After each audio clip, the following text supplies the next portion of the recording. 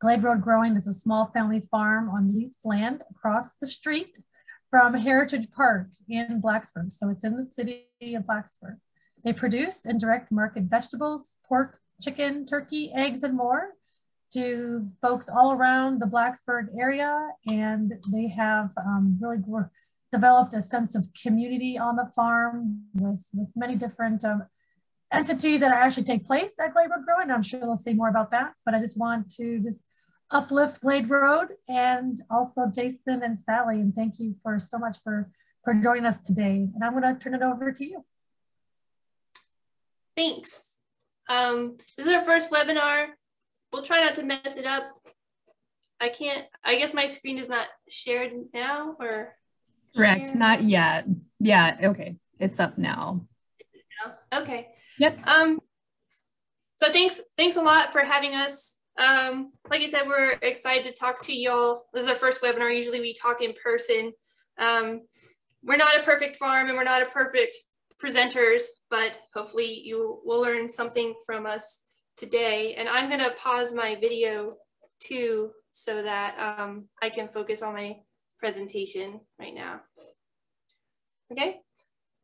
So today we're going to show you some of the lean strategies that we have adopted to our farm over the years that have been the most significant for us. That is, they've made our work much more enjoyable, efficient, and productive. Today, we're mainly covering the vegetable production side of our operation and how we sell. Um, we learned a lot about lean farming from Ben Hartman. Um, he's pretty famous. He's a lean king. He has uh, lots of webinars and materials. He has two books that we really recommend. Um, the subtitle of his first book on the left there is How to Minimize Waste, Increase Efficiency, Maximize Value, and Profits with Less Work. I highlighted minimize waste there because a lot of the times you can make your operation much more efficient, not necessarily by buying another tool or hiring another person, but just looking around at the waste on your farm and get rid, getting rid of that. And then to that, I added another quote from Ben Hartman. Um, the traditional farm adds capacity through constant expansion. The lean farm grows by cutting out waste. You know, that has been really key in us getting more efficient. So hopefully this talk will inspire you to dig deep, look at, try to think about what are your biggest bottlenecks and what mental and physical baggage might be clogging down your farm. We'll give you a brief overview of our farm. Um, as Kim mentioned, uh, we started farming in 2010, so this is our 11th year, but we still feel like we're beginning farmers. We're learning all the time and making mistakes constantly. But that's okay.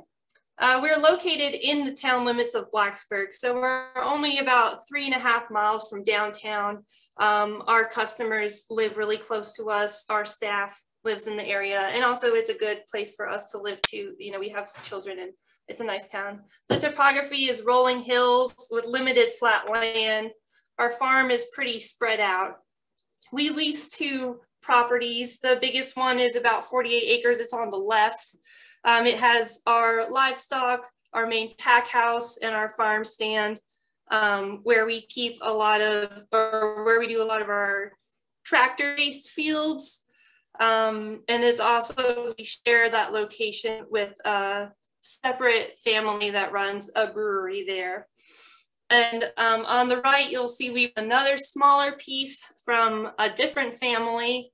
It's a little more protected from the wind. It's tighter.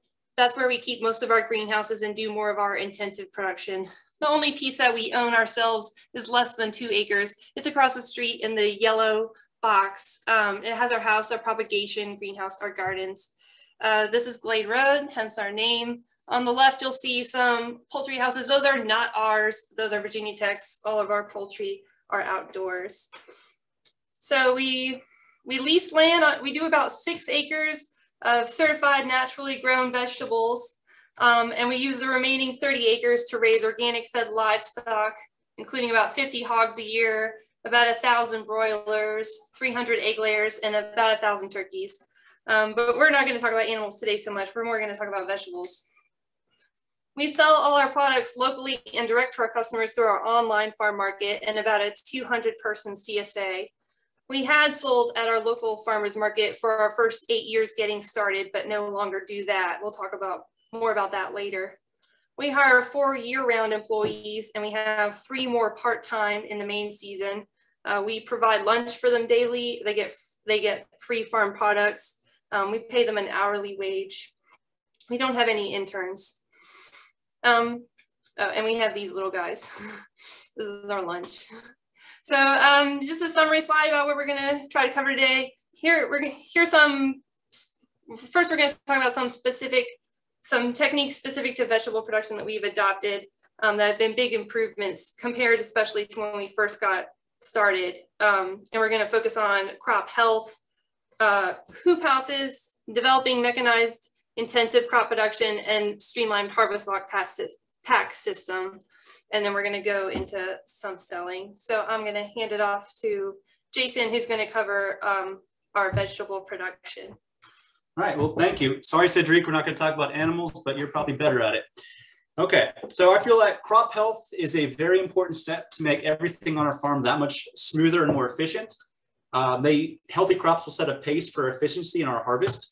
So we'll be able to produce more on less space, uh, have a better flavor, uh, better production, so less or even no pest pressure. Uh, for example, we are not using pesticides. Uh, employee morale is higher. And of course, with that, we get better customer satisfaction and retention. Uh, our focus on soil efforts um, is solely on building soil biology through the use of extensive organic matter applications and any kind of foliar uh, biology sprays to inoculate our fields. Uh, we make our own compost using our own animal manures and plenty of carbon rich bases that come into our farm. So our location was kind of key for that. So when we decided to look for a farm, we wanted to get the free organic matter. So we're the, now the primary dump spot for the town's uh, leaf waste. And we, of course, we get endless wood chips. Uh, all that product we store, turn, and we try to thoughtfully apply them to our fields and animal locations. Uh, we are very fond of foliar feeding. Uh, we're using products from Advancing Eco Agriculture, uh, the guy's name is John Kempf, who started it. And we feel that foliar feeding is the best way of putting the specific nutrients uh, right into the heart of the crop. So we're using SAP testing to understand what our crops are out of balance of and provide the specific nutrients that they need. Uh, SAP testing is the most accurate way of knowing exactly what's happening in your plant and what it's taking up. And a foliar feeding is the best way to put the nutrients into the plant. So it's kind of the most accurate thing of what's happening in like the blood of the plant. Okay, pause that for a second. So um, we, we started by doing a lot of soil tests our first year. Uh, then to learn more about the crops, we started doing plant tissue testing, but now we're moving into something different, which Jason uh, cited called SAP testing. I'm not sure if very many people know about that, um, but we can talk more about that at the end if you want to know. I just wanted to say that SAP testing is different from uh, tissue sampling. And soil testing. And so, soil testing. So the theory is just because it's um, in the soil doesn't mean it's available. And so SAP testing kind of allows balances to happen. And obviously you get a consulting thing from it as well.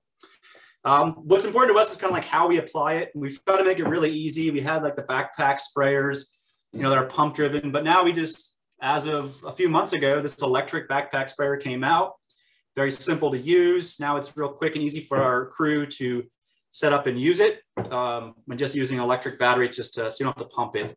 Uh, we also use a small boom sprayer for the field and that allows us to uh, cover ground pretty quickly. One of the main limits on our farm was actually the hard water in a location.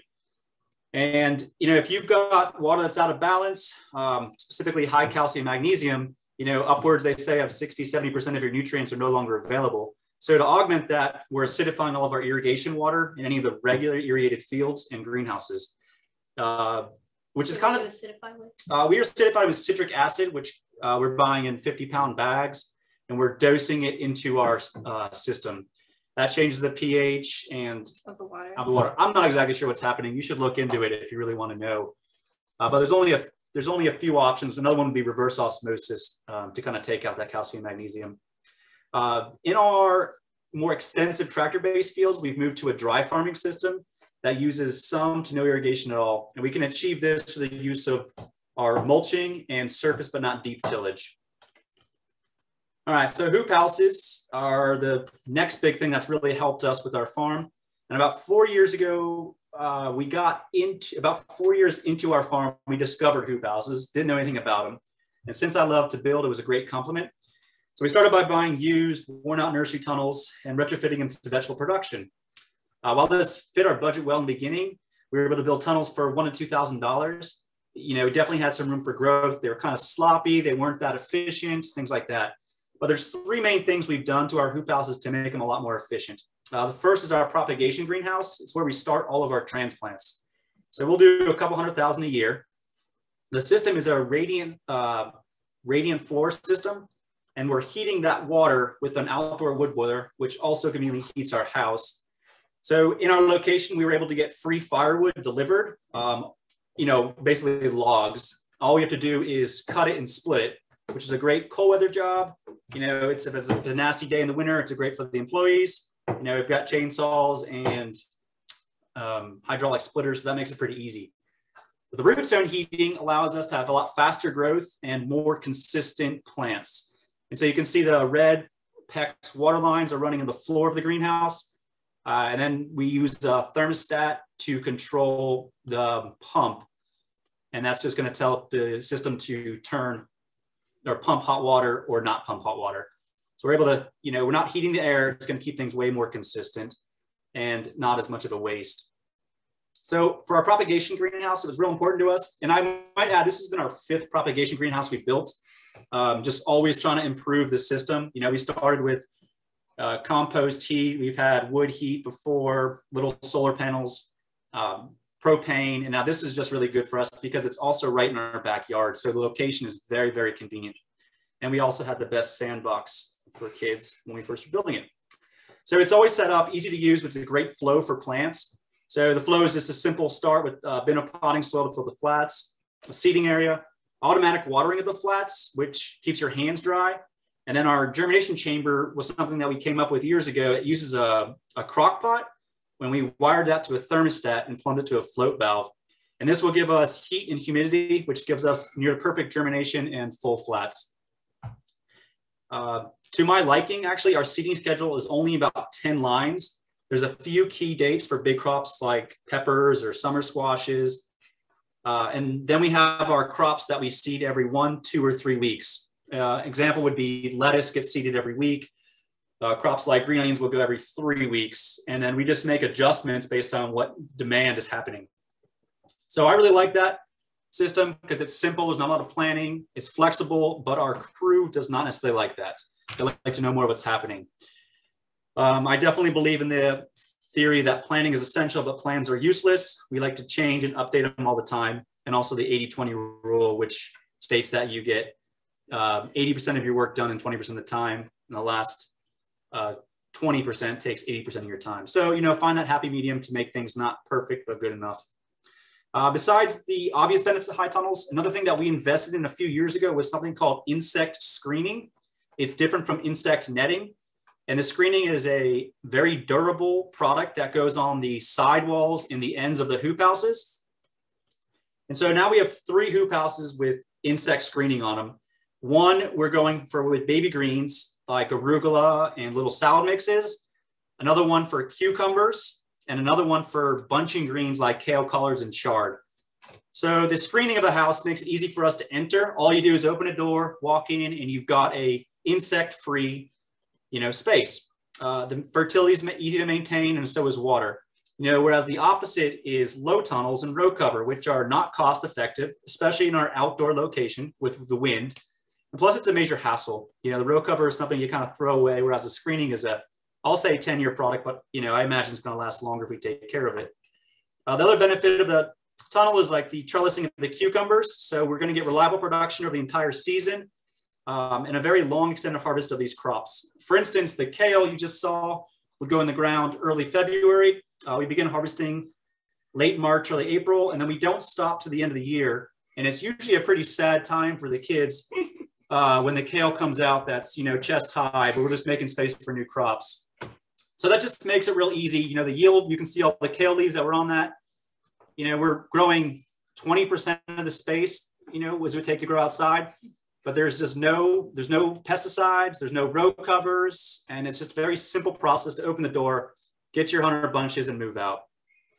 So the other thing that we invested in the high tunnels that made it different was automation, and that's both heat and heat, ventilation, and water. So all of our tunnels have automated water, and three of them, like I said, have um, propane heat and automatic ventilation. I think automatic ventilation is probably the next thing for all the tunnels for us. And I think three houses that are heated are good enough. And that allows you to have that consistent year-round greens and then early tomato production. And both of those are very important for us for direct market crops. Okay, so that's the tunnels. We can go into more details later. Uh, can you go back one slide? So the next question is, these, these just got planted maybe two weeks ago. These pictures are from like a week or two ago. Uh, but if you look, the tomatoes are being trellised to the system called a clipper system. It's kind of new to us. It's kind of new to the this small scale farm, but it's supposed to make our trellising system a lot simpler. Um, it's spelled Q-L-I-P-R. If you want to try to pronounce it, you can. If you want to look it up, you can, but it's a simpler trellising system. Okay, so moving on, we are going to talk about our mechanized intensive system. And I'm going to add that we started with wheelbarrows, pitchforks, and a BCS walk behind tractor. Uh, now we have three tractors, uh, two of which are cultivating or specialty tractors. And we chose to invest in more cultivating tractors because on an organic vegetable farm, you know, weed control is generally going to be our biggest hurdle. So rather than having more compact utility, we went with uh, cultivating tractors. So our system we designed was based on high organic matter applications. You know, that's not going to be for everybody, but for us, that makes the most sense. So we're going to be using, uh, we're going to be breaking down leaves and wood chips, which will come to us free of charge. So it's just our time, labor, um, and some, I guess, diesel to handle the material. So we're going to apply all of our organic matter using the tractor's bucket in a small manure spreader that we outfitted for our scale. Uh, sometimes we'll apply a finished composted leaves to our bed top and work into our beds. And sometimes we'll just use them uh, as mulch to eliminate irrigation needs and help with weed control. So this onion crop has been weeded a few times, all mechanized. And then we'll just apply um, a small dressing of leaves and that'll keep moisture in and you know weed control will be minimized.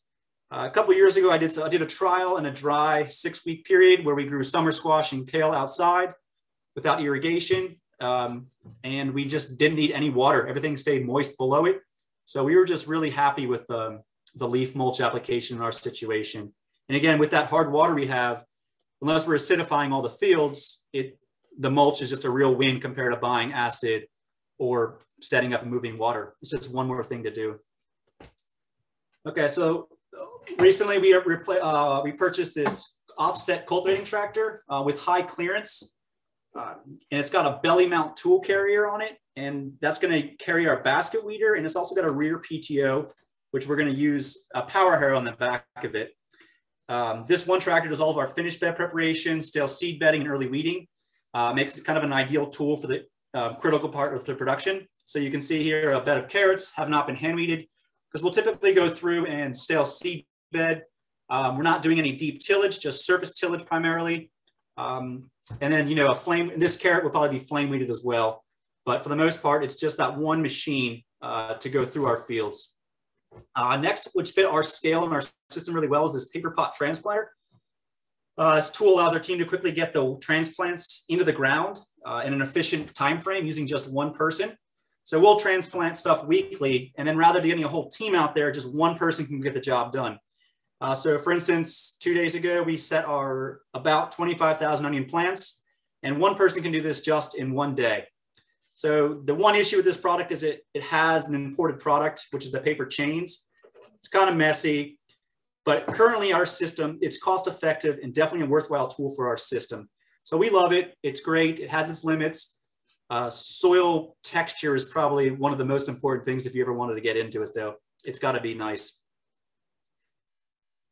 Okay, so uh, this next picture is just I, my, the, the mechanical shop. I think is one of my favorite spots to work. Um, it's not that I get paid to do that, but it's just really handy for us to have a shop set up to work on stuff that's broken, make changes, and you know quickly get back out to the field to you know break more stuff. I guess.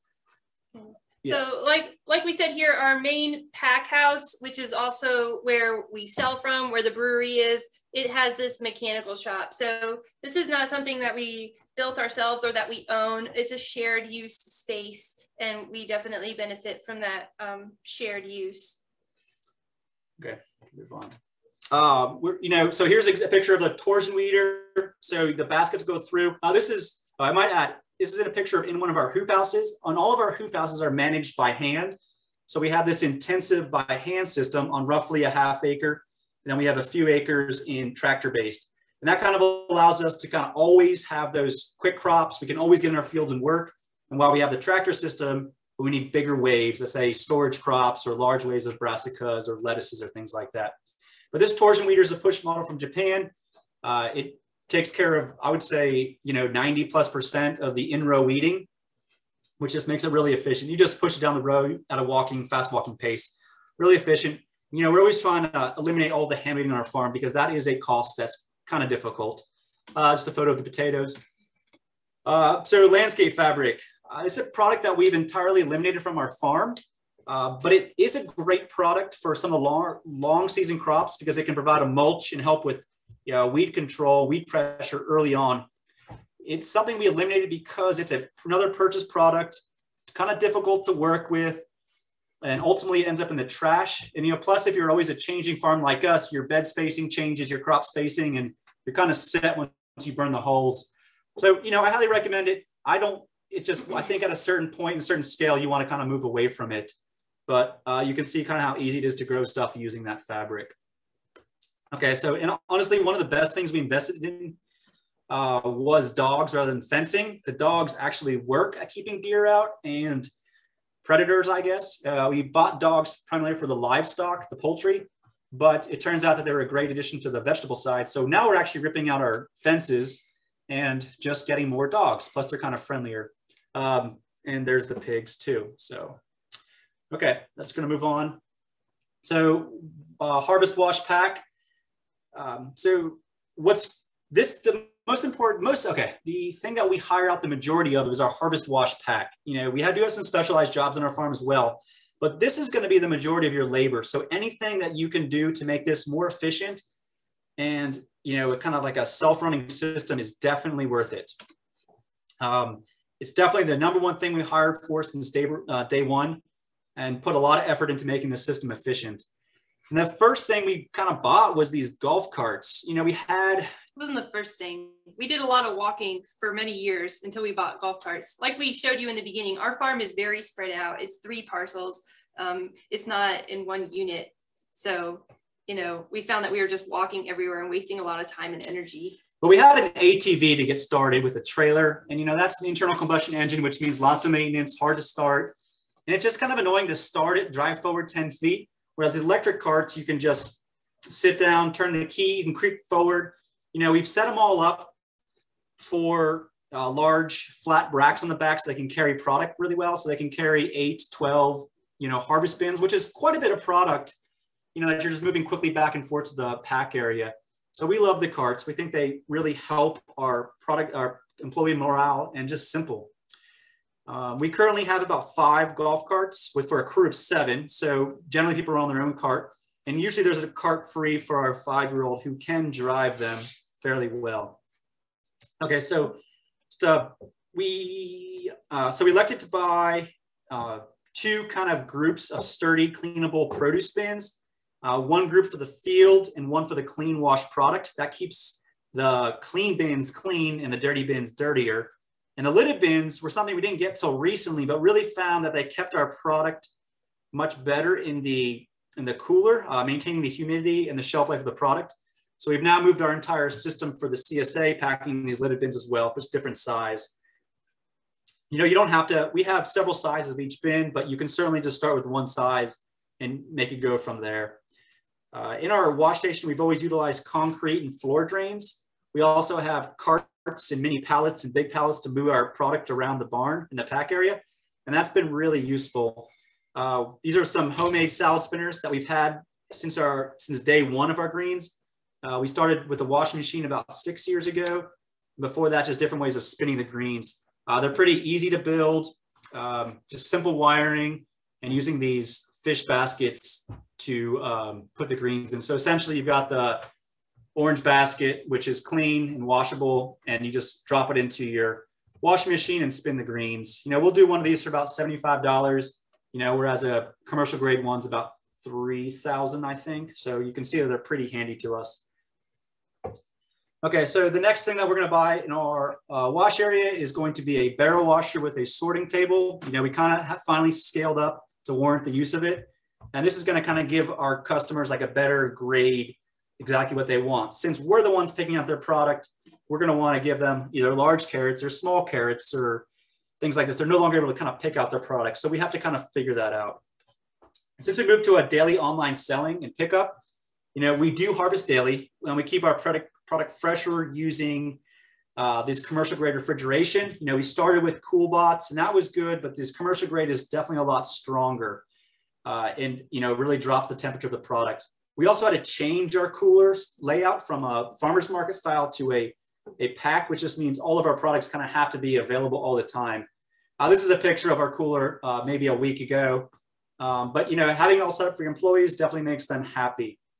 Uh, one thing I'll say about the online selling is that, you know, we're harvesting daily. So we no longer have this really long, well, I think today we have, we have to pick 100 pounds of spinach, but for the most part, we're just picking small amounts all the time. It's not no, no longer so overwhelming. You know, and having the cooler, you can pick things like lettuce mix two or three times a week. You know, you don't have to pick it daily. So that all just makes things easier for ourselves. Uh, like Jason mentioned, our the number one labor expense that we have is in harvest wash pack. So getting a crew that's really well suited to that is important. Um, we, the past several years, we've really hammered out um, writing out job descriptions. Uh, we write it out for ourselves as, as much as we do to give to the applicant or to the person we're gonna hire. And it just really spells out um, what is very important to you, you know, as an employer, what they're going to be getting, um, what your what um, their tasks are going to be. Um, so if you don't already do that when you're hiring, then you should. Uh, lean techniques and selling, I'm going to cover some of that now, um, starting with our online farm market. So our first eight years, we sold at the Blacksburg Farmers Market and we did pretty well there, but it was a lot of work for us and it was costly. We needed to buy a lot of tents, a lot of tables. We had to hire extra people to help us with it. Um, when we added up all the costs, it was costing us really over $20,000 a year to go there. And it was hard. And we didn't feel like the product that we were selling to people was very high quality towards the middle of the day because it would get hot and the product would wilt. Um, so we were looking for a better way, I guess. Um, so not year nine, we quit the farmer's market and we just had our own farm stand out at Arm Farm. Um, we were in town limits, so we figured we could get some customers out and we did get some customers out, but it was a struggle to make enough money uh, to make that sustainable. We had to stand there for long hours manning the stand. Um, we had set up a self-service kiosk, which you can kind of see here um, for when we weren't there so that people could drop in and still make purchases. Um, but still not super efficient or economical for us. So the mantra in selling lean is give them what they want, when they want it, and how much they want. Okay. And we were finally able to do this, we feel like, with the online farm market that we developed last year. We had been working on this for a few years, but we never really pushed to get it off the ground until COVID. Um, the way our online farm market works is we built a catalog of what we have and there are you know pre-built apps that can help you with this. And i'm just showing you how we do it. I know there's infinite ways that you can. Our website is on wordpress and we use a free plugin called woocommerce. Um, customers order and pay on our website. They see exactly what they what we have before they come out we see the orders come through on the WooCommerce app that we can put on iPads or our phones. And we pack orders seven days a week, typically in the afternoon. Most orders we pack within 24 hours that we receive them. And once an order is packed, we put it out for the customer on a shelf on our display cooler with a name tag on the glass, mark it as complete. The customer then through the app gets an automated, e automated email that their order is ready and can come pick it up anytime. The pickup is self-serve and they've already paid. The product remains cool until they come. Tomatoes are packed on a separate table adjacent the cooler and meats are packed in a display freezer with names written on the bags. Um, tracking sales, no matter how you sell, tracking sales is really important. We didn't track sales so well our first few years, but now there's so many free point of sale apps that uh, you don't have an excuse. you know, you need to track exactly what you're selling to eliminate the guesswork there. For us, um, our WooCommerce sales, like our website sales, are synced with our point of sale app called Square. Uh, the apps make it really easy to see snapshot reports of what your product, what products you're selling and when. And I guess I also wanted to highlight on this bar graph. So these gray bars are last year's sales for us um, for certain months.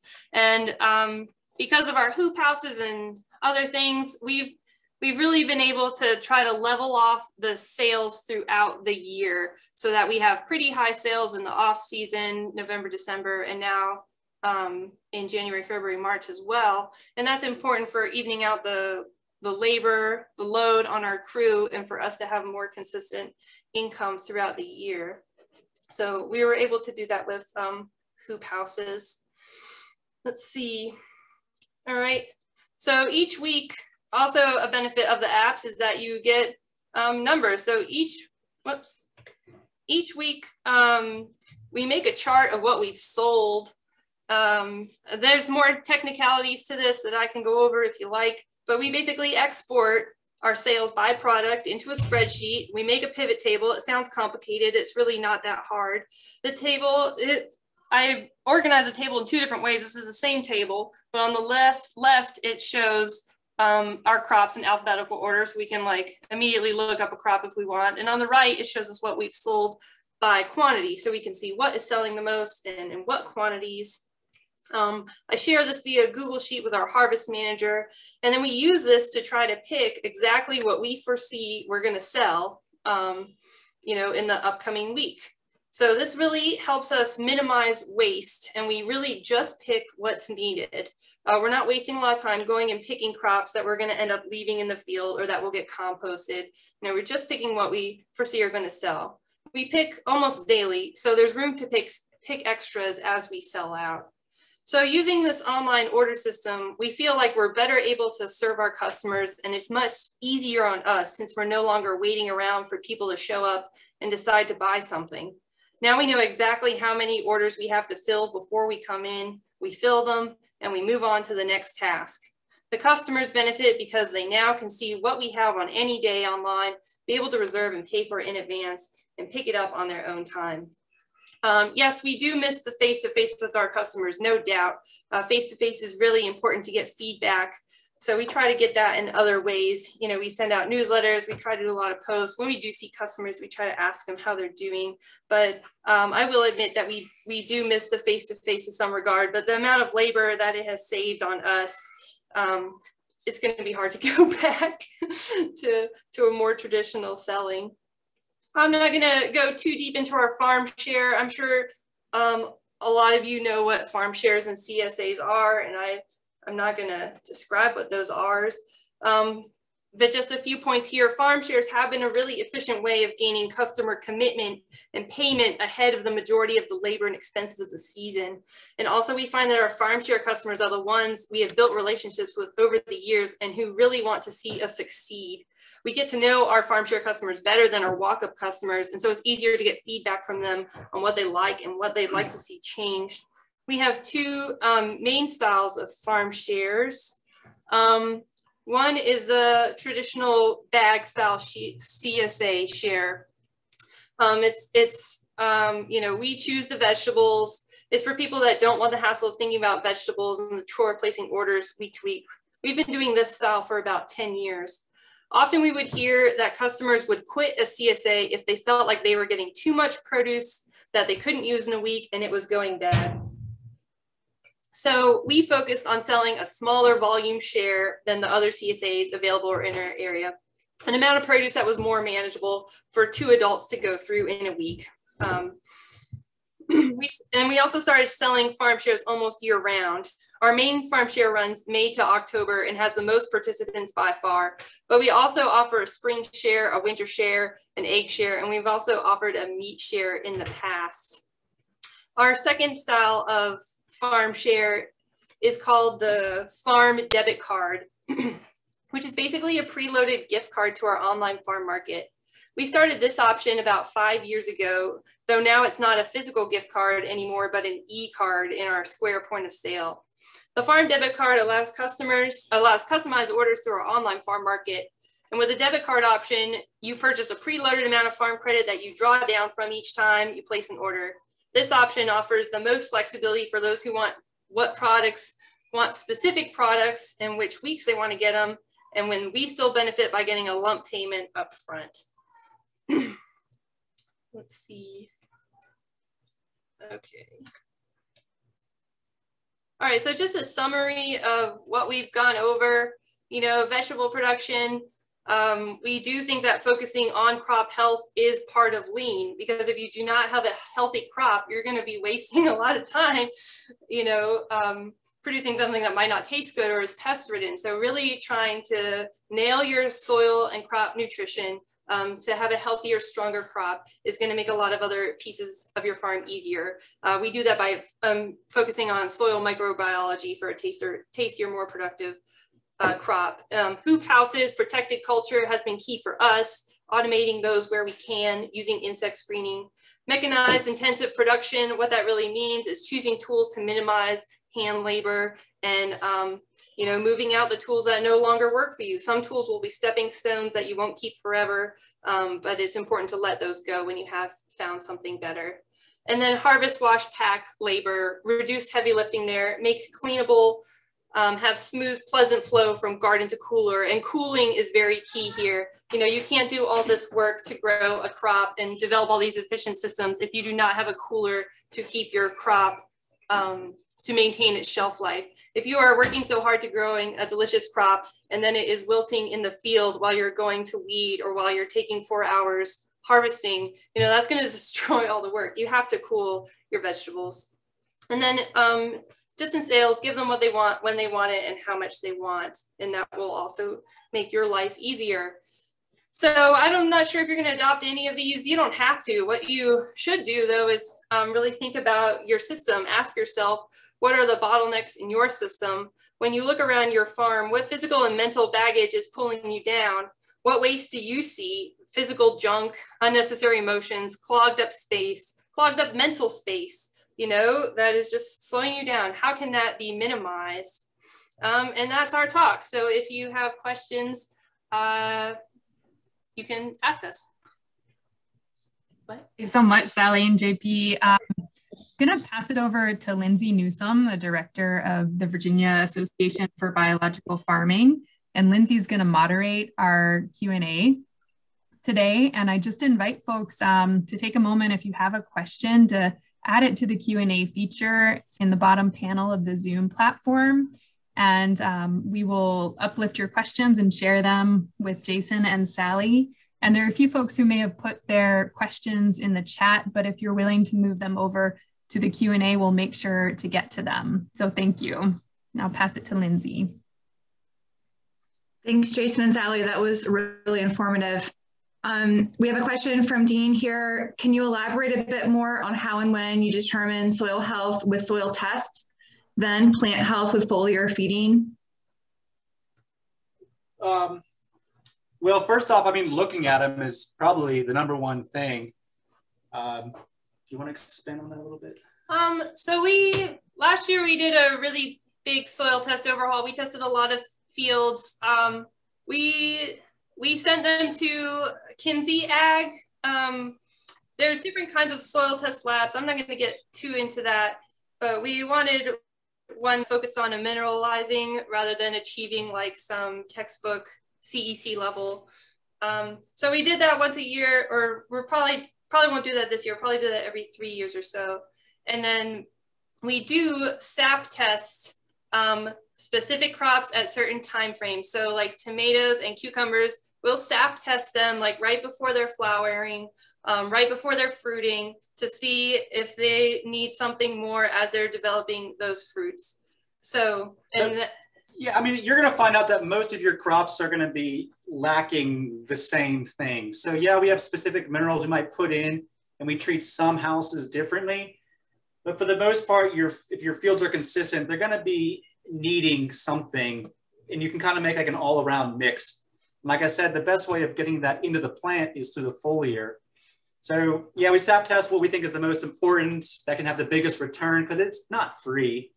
Um, um, yeah, and then we just kind of make improvements from there. But we do try to, you know, apply very little um, fertilizers because you know we're, what we're in the belief is that you know just because they're in the ground doesn't mean they're available. So you know you're kind of getting that balance and feedback from your consultant.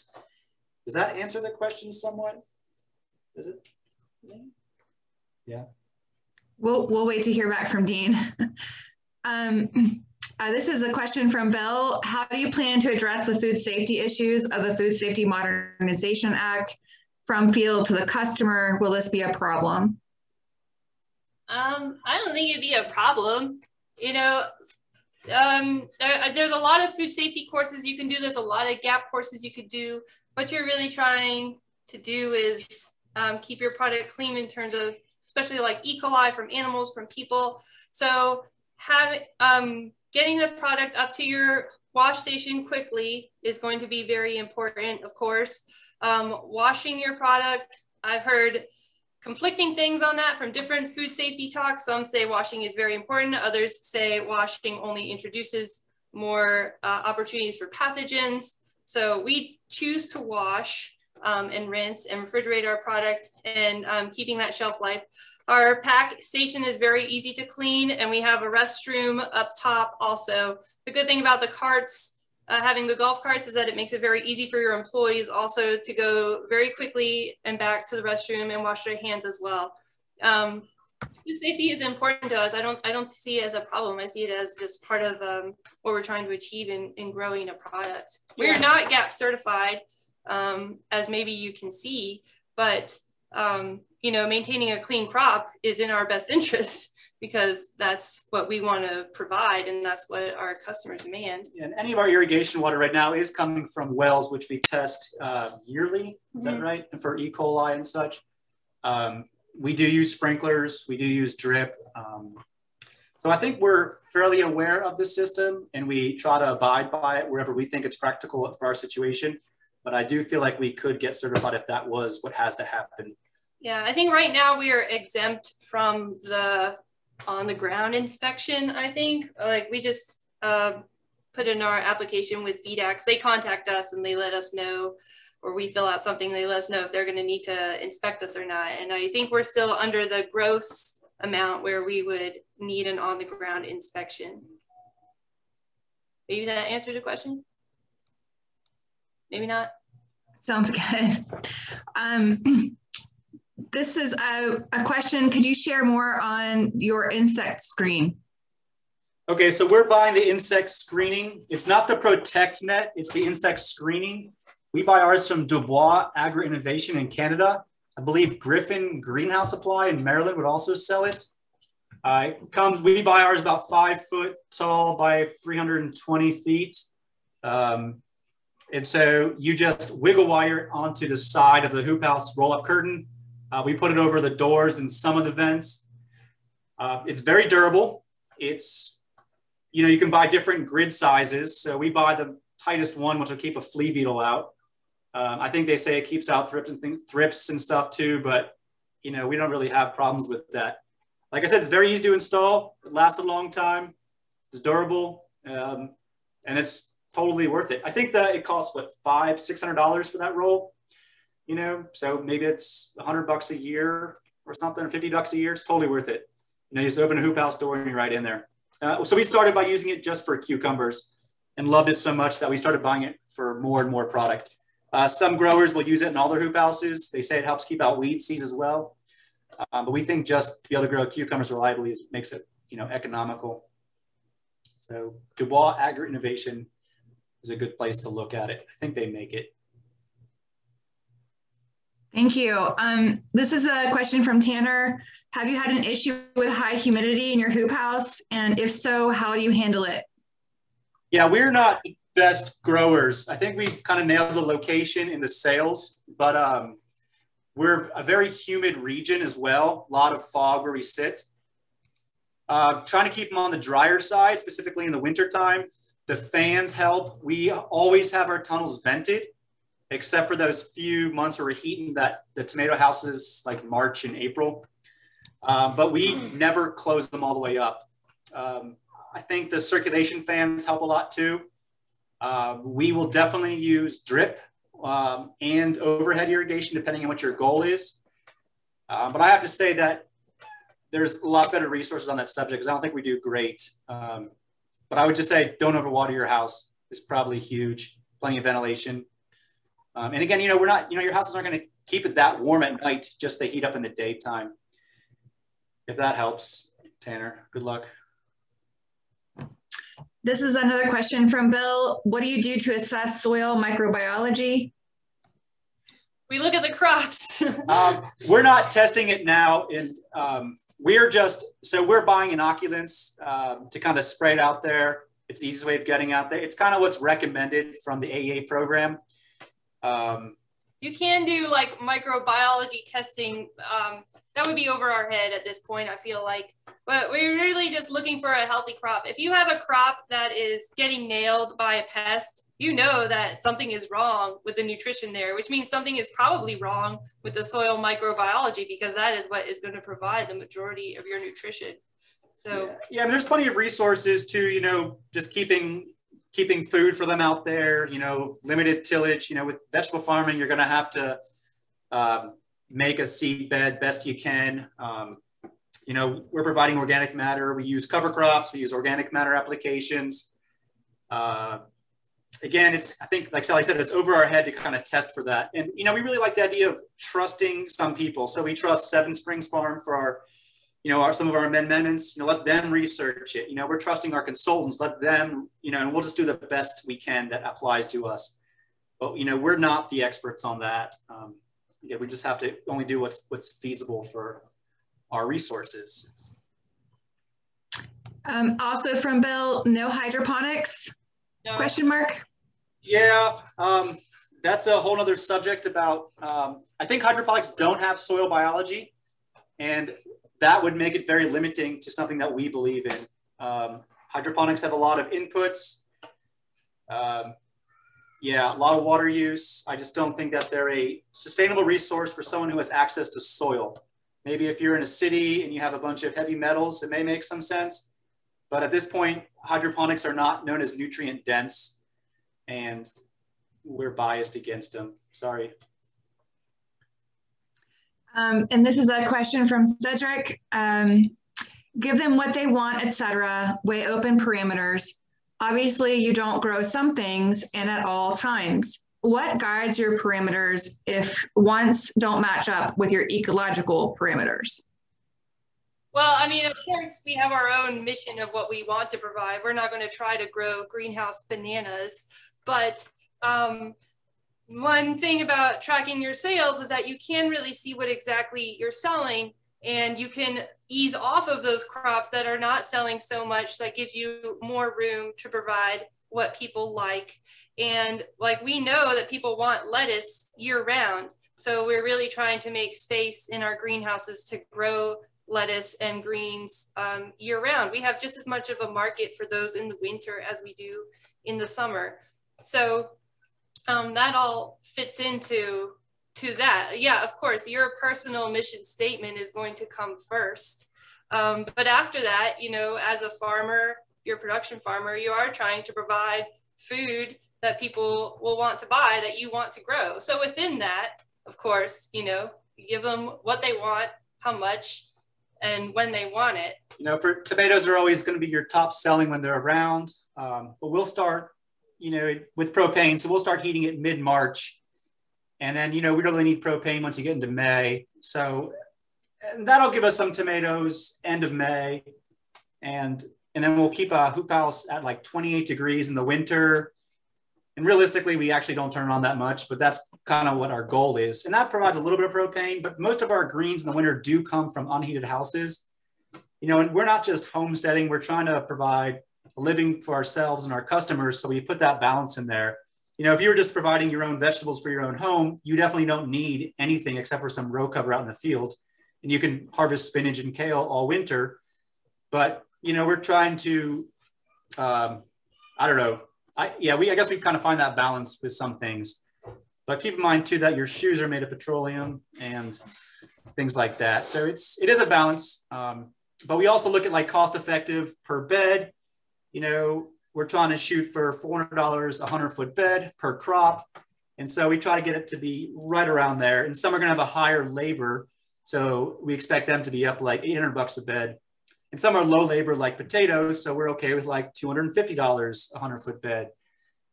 And so it's, you know, with I think, um, what is that sustainable saying? It's, it's got to be economically sustainable, you know, physically sustainable, and then ecological. Most people just focus on the ecological side, but there's the other two ones also that are important. Um, and that's where mechanization kind of comes in to make it so you can continue to do it. So hope that helps, Cedric. And Sally and Jason, we uh, have a lot of questions here, and I am just curious, would you all be willing to stay on five minutes later so we could spend at least six more minutes to get as many as we can answered? Sure. Yes. Okay, thank you both so much. Okay, and this is a question from Dean. Um, do you mix manure from your animals into the leaf mulch that you get from the city and that you put on your beds? Yeah, we we run our pigs through in the winter because it's warm and it's a nice spot. Um, our our animals have like a deep bedding in their house, and we'll use the tractor or, or rent a skid loader to turn it. Um, but the leaves will sit for usually a year or two, sometimes up to three. Um, and the, the poultry bedding will sit. I mean, we just have so much organic matter that we don't even, the main reason we don't apply it for until months is because we just don't have time to apply it. We've got all these old piles just sitting around that we just turn and apply it. So we certainly mix it in. We wish we had more specific smaller piles that we can manage better. But at this point, it's kind of all we can do to just uh, get it on the fields and try to use it intelligently. So we're not just tilling in, you know, straight carbon you know, we're trying to use it in a way that doesn't tie up nutrients, you know, more of like a mulch. Um, and then there's like an initial application and then there's, you know, small dressings as you get more advanced. So we have way more carbon than nitrogen for sure, but I think that's okay. It just takes more time. And then um, do you do cover cropping for adding organic matter or are the leaves enough? Uh, we certainly do. We we believe in feeding the biology with living roots. I don't think we're the best cover croppers. And the main reason is we just, I believe that vegetables are a great cover crop too. You know, we'll just seed beds to things that we can harvest, storage radishes, spinach for all winter. I know, but we'll throw, you know, wheat, rye, um, tillage radishes, you know, peas, cowpeas. Um, our extensive section will have about half of it in cover crop this last year, some years less. Um, so I would recommend, you know, we, but our intensive area never gets cover crop. It's just always in production. So we haven't really seen a problem with that at this point. Um, but we definitely do cover cropping, would like to do more. Um, and I think what you want to do with the cover cropping is get as much diversity into their into your seedings as you can. Um, that's important, I understand. What tools do you use to SAP test and who is your consultant? Um, Uh, so we do that through AEA, Advancing Eco Agriculture. Um, they sent, there's only one lab in the world. It's in the Netherlands. You don't need any special tools. You'll, you'll just take um, some leaf samples and um, send them in. You'll have to contact them in advance. They'll send you the bags with the proper barcodes and then you send it to them in Ohio. They will send it on to the Netherlands and then they'll send you back the um, you know, a printout report. There's supposed to be a lab in Ohio forming at some point, but um, that's just where we're at. It may not be the perfect system, but that's where it's at right now. Yeah, I've heard, who knows what's what, but like you test your soil, you never really know what is already in your soil that the plant is able to take up. So if you're if you're just like trying to go off your soil test, it might be very inefficient and it might not even still be crop available.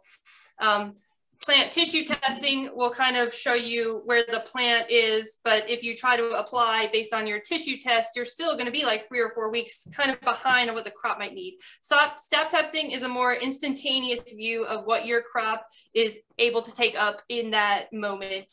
And so that is a little more agile for you to react to in terms of um, putting nutrition in, especially if you're going to do it foliar, because then you're, you know, kind of putting it right in the plant's blood. And you, know, you could test everything, but you know we're growing almost every vegetable, and so we'll just put a budget out. Let's say five hundred dollars, and you know just figure out what the best way to utilize that um, and that's just a good way of going you know do it two or three times for one crop that you think is important start with that see if you like it, see if you keep up with it, and then move on from there. Yeah, but the, the thing with sap testing too is that there's really key times, you know, like you don't really want to sap test at when your crop is at the end of its life. It's, it's more important to sap test when your crop is younger, growing, um, about to approach those stages of flowering and fruition, when it's going to make the most impact. Think of like a pig on the mom for a lot longer, you know, it grows faster. It's, it's a more important time, you know, so, you know, just, yeah, just pay attention when they're young. I think that makes the biggest difference. And Lindsay, we can use time for one Sorry. more question, I think. One, one okay. possibly, but yeah. Um, can you compare your propane gas versus wood heating systems, which is cheaper, more efficient, easier? Um, the wood is a lot of labor. Uh, we go through about 10 to 15 cords a year that heats our house and our greenhouse. You know, the R value on a greenhouse is like 1.2. So the propane, I think we drop like $600 a year on propane. On wood, we probably spend that on labor. But, you know, like I said, in our location, we're getting, you know, we're in town limits. So there's always people cutting down trees, dangerous trees, and that's just coming to our farm. Yeah, so wood is work for sure. Propane is easy. The wood boiler costs about $12,000 to buy new and set up. Um, the prop house we built for about eight or nine thousand dollars. Um, a propane 30 but to heat a 30 by 100 house. The heater probably costs anywhere between $1,500 and $3,500, depending if you buy the good one or the cheaper one. If you have the money, buy the better one, like the Effinity 93. Um, the propane is definitely just set it, that is set a thermostat, and then it's pretty maintenance free. You know, clean it out once in a while. You know, check your um, yeah, any of your electrical connections, your um, uh, whatever the words not coming to me. But yeah, it's pretty straightforward. You know, whereas the wood is definitely just you know every day you got to put the wood in. So we thought we had you know the labor for it, but you know it just depends on what you want to do. And then uh, we'll do one more here about the uh, heating in the uh, hoop house in the mountains must be pricey in the fall and winter. Any ideas to lower the costs? Well, you know, what's your cost? Like we, like I said, we're not we can be heating them, but you know, we try not to heat them.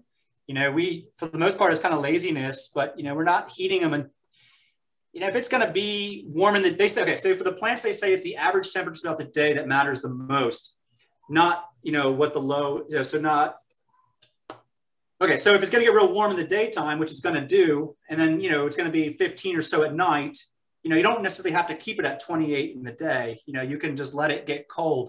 So we're not really heating them, you know, all that often. And what it really does too is it kind of takes that edge off the plants. Um, you know, so for us, it's cost effective to start heating it, you know, mid March. You know, we're cranking up to like 55 or 60 just to kind of get the plants growing. You know, heating them a little bit is a lot easier than putting row cover on and off. So keep that in mind. Um, you know, wind is huge. So if you can seal them up, you know, that would be pretty useful. You know, a lot of times people have some pretty poorly built tunnels. I mean, you can just take a look at most of ours. Um, but our heated ones are, are newer and tighter, you know, better. You know, the double the double poly makes a lot of sense um, with the fan in between. Uh, you know, just go to one of those greenhouse sites like Rimol or something like that, and you know, see what they have to say about heating them, and you know, kind of make your decision for yourself what you feel like doing. But if like if you only have half a greenhouse and there was some lettuce that may or not be worth that much. Is it really worth heating it? I mean, not really. So, you know, if you've got a full house, you know, you've got, you know, your sales sales are up, then, then heat it. But if it's it's kind of like your crops look weak, then just don't. You know,